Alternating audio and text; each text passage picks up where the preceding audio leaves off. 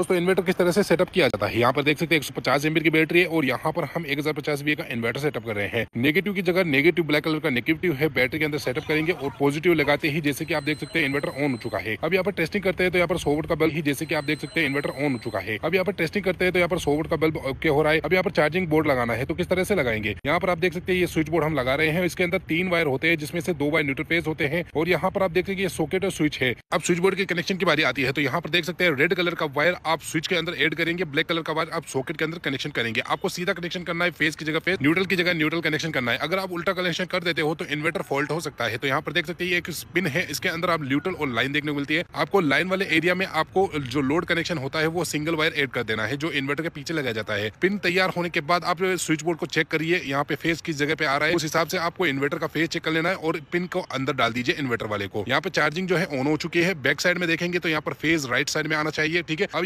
दोस्तों इन्वर्टर किस तरह से सेटअप किया जाता है यहाँ पर देख सकते हैं एक सौ पचास की बैटरी है और यहाँ पर हम एक हज़ार पचास का इन्वर्टर सेटअप कर रहे हैं नेगेटिव की जगह नेगेटिव ब्लैक कलर का नेगेटिव है बैटरी के अंदर सेटअप करेंगे और पॉजिटिव लगाते ही जैसे कि आप देख सकते हैं इन्वर्टर ऑन हो चुका है अब यहाँ पर टेस्टिंग करते हैं तो यहाँ पर सौ का बल्ब ही जैसे कि आप देख सकते हैं इन्वर्टर ऑन हो चुका है अब यहाँ पर टेस्टिंग करते हैं तो यहाँ पर सौ का बल्ब ओके हो रहा है अब यहाँ पर चार्जिंग बोर्ड लगाना है तो किस तरह से लगाएँगे यहाँ पर आप देख सकते हैं ये स्विच बोर्ड हम लगा रहे हैं इसके अंदर तीन वायर होते हैं जिसमें से दो वायर न्यूट्रल होते हैं और यहाँ पर आप देख सकते हैं सॉकेट और स्विच है अब स्विच बोर्ड के कनेक्शन की बारी आती है तो यहाँ पर देख सकते हैं रेड कलर का वायर आप स्विच के अंदर एड करेंगे ब्लैक कलर का वायर आप सॉकेट के अंदर कनेक्शन करेंगे। आपको सीधा कनेक्शन करना है फेस की जगह फेस न्यूट्रल की जगह न्यूट्रल कनेक्शन करना है। अगर आप उल्टा कनेक्शन कर देते हो तो इन्वर्टर फॉल्ट हो सकता है। तो यहाँ पर देख सकते हैं एक स्पिन है, इसके अंदर आप न्यूट्रल और लाइन देखने को मिलती है। आपको लाइन वाले एरिया में आपको जो लोड कनेक्शन होता है, वो सिंगल वायर एड कर देना है, जो इन्वर्टर के पीछे लगाया जाता है। पिन तैयार होने के बाद आप स्विच बोर्ड को चेक करिए, यहाँ पे फेस किस जगह पे आ रहा है। उस हिसाब से आपको इन्वर्टर का फेस चेक कर लेना है और पिन को अंदर डाल दीजिए इन्वर्टर वाले को। यहाँ पे चार्जिंग जो है ऑन हो चुकी है बैक साइड में देखेंगे तो यहाँ पर फेस राइट साइड में आना चाहिए, ठीक है? अब